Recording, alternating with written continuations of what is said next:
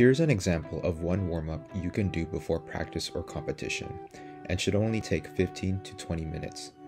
If you would like to see other examples of exercises or full exercise programs, please visit our YouTube channel, Adapted Sports Injury Prevention.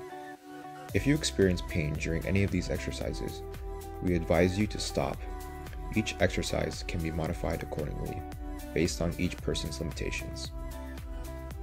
The first set of exercises are two mobility exercises. Mobility is extremely important in wheelchair tennis in order to prevent injuries and give you maximum power behind your swings. If you experience pain during any of these exercises, we advise you to stop. Each exercise can be modified accordingly based on each person's limitations. The first exercise is a pec stretch. In order to stretch these muscles, you are going to position your chair next to a fence or pole. You will place your arm and elbow in a 90-90 position and rotate in and away from your arm to make the stretch more dynamic. Dynamic stretches are good to do before a practice or a game. We will perform this stretch for a minute each side with 3 to 5 second holds. The next exercise is called net twist. For this exercise, face the net and grab on with both hands. Then rotate your trunk and hips in both directions. Do this exercise for 10 repetitions, rotating to each side. In today's workout, there are three strengthening exercises. Unless otherwise noted, each exercise is done for two sets of 8 to 12 repetitions. If you have difficulty stabilizing yourself during any of the following exercises due to a lack of core activation, you can complete the exercise one arm at a time while using your other hand on the chair to help stabilize yourself. You should perform all of these strengthening exercises at an RPE between 12 to 15. If the athlete identifies the intensity of the exercise below an 11 on the RPE scale, the exercise should be progressed to something more difficult. If the athlete identifies the exercise as above 15, then the exercise should be regressed. The first strengthening exercise is the posterior chain row complex. This exercise is performed with a TheraBand. The wheelchair will be positioned facing toward the fence with the chair locked or blocked in front to prevent rolling. There are two ways this exercise can be performed. For the first method, the TheraBand is attached at the level of the shoulders. The athlete will start by performing a high row, move into shoulder external rotation, and then perform an overhead press. Alternatively, the TheraBand can be attached lower at approximately waist level. The athlete will then perform a regular row, move into 90 degrees of shoulder abduction, then 90 degrees of external rotation. So the arm is now in a 90-90 position and then perform an overhead press. With an additional step, this second method will be slightly more difficult. For this exercise, the athlete should work at a slow pace, focusing on scapular retraction or squeezing the shoulder blades together. We also want to avoid excess shoulder elevation or shrugging of the shoulders. This exercise can be progressed by adding more resistance. To regress, you can decrease the amount of resistance or perform components of the exercise in isolation. Unlike the other strengthening exercises, this row complex will only be performed for 5 repetitions. The second strengthening exercise for day 3 is called sword pulls and is a combination of shoulder flexion and thoracic spine rotation. This exercise is performed in a locked wheelchair. This is also a unilateral exercise that should be performed on both sides. Beginning with the left arm, you'll place both hands on the band just in front of the left hip. The left arm is going to remain in place to anchor the band. The right arm will then pull the band to move the arm up and back. As the shoulder flexes, the trunk should open up and rotate towards the right side. The head and neck should remain neutral, following the trunk. Throughout this motion, the thumb should be pointed up so as to put the shoulder in a slightly externally rotated position. We do not want the thumb pointing down, as this will limit the range of motion and potentially impinge the shoulder. The preceding direction should be reversed when the exercise is performed on the left side. This exercise will most often be progressed or regressed based on the weight of the TheraBand. The final strengthening exercise is the Pallof press and is performed each day of the program. To set up this exercise, the wheelchair will be facing forward and will be locked, or if in a sports chair, blocked from moving. A band is attached at or just below shoulder level to the side of the athlete, the Pallof press is performed by grabbing the band with both hands and pulling the band to the center of the chest.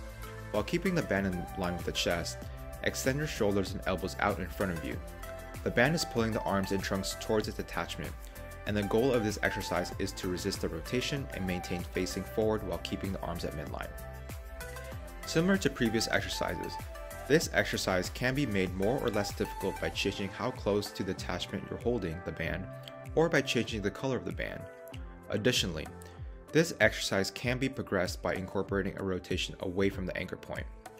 As an alternative, if core activation is an issue, the athlete can try to draw circles or spell out the letters of the alphabet while maintaining the press position. The next exercise focuses on dynamic stabilization. This exercise will help activate muscles that stabilize the shoulder girdle and make a great warm up before beginning more intense strengthening exercises or sport specific play. This exercise is performed for 1 minute per arm. This can be progressed by increasing the time of the exercise or by using a heavier ball, although the ball will still need to bounce. The exercise can be regressed by decreasing the time or by using something lighter like an inflatable beach ball. This exercise should fall between 12 to 15 on the RPE scale. If the athlete identifies the exercise below a 12, then it is too easy and should be progressed. If they identify it as above a 15, then it is too difficult and should be regressed. This exercise is called protracted circles. The positioning of the wheelchair will mimic that of the previous two exercises. The shoulder is flexed to 90 degrees, the elbow extended, and the scapula or shoulder blade is protracted. This motion will look similar to a forward punch and your shoulder blade should stay forward. Make sure that this motion is coming from the shoulder joint and not from rotation of the trunk. Once in this position, draw small circles with the ball for 30 seconds in the clockwise direction and 30 seconds in the counterclockwise direction, with no rest between. This exercise specifically targets the serratus anterior muscle, which helps move and stabilize the shoulder blade. If this muscle is weak, it can contribute to dysfunctional overhead motion. This can be done with a TheraBand as well. For this, the wheelchair will be facing away from the fence, but the TheraBand will be attached only slightly above shoulder level. Create adequate tension in the band by adjusting the distance between the wheelchair and the fence, and continue with protracted circles. The final set of exercises are sport-specific drills that you can perform before you start playing on the court. Incorporating sport-specific drills is a great way to prepare your body for the demands of the tennis court, such as wheelchair mobility and agility, and proper wheelchair propulsion mechanics. Replicating the demands of wheelchair tennis play during warm-ups can help decrease risk of injury. The first drill is called the fan drill. You will need six cones set up in a half circle configuration with one cone at the center and five cones surrounding it with equal space in between the five cones.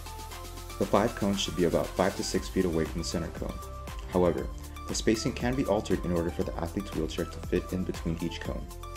Once the cones are set up, the athlete will be instructed to move around the cones in a figure 8 pattern in the direction from the left to right cones of the fan, always returning to the center cone. This is then repeated in the opposite direction, doing figure 8s around the cones of the fan right to left, always returning to the center cone.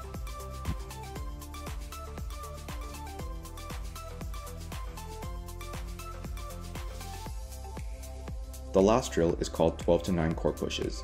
This drill promotes proper wheelchair propulsion mechanics while gradually getting the body ready for explosive wheelchair pushes. The athlete should place their hands at the 12 o'clock position of the chair and move from the 12 to 9 o'clock positions during propulsion. The athlete is instructed to propel forward at 25, 50, 75, and then finally 100% of their max speed along the length of the court. The athlete should start pushing forwards 25% effort down the length of the court. When the athlete reaches the end of the court, the athlete turns around and proceeds to pull backwards along the short end of the court for active recovery.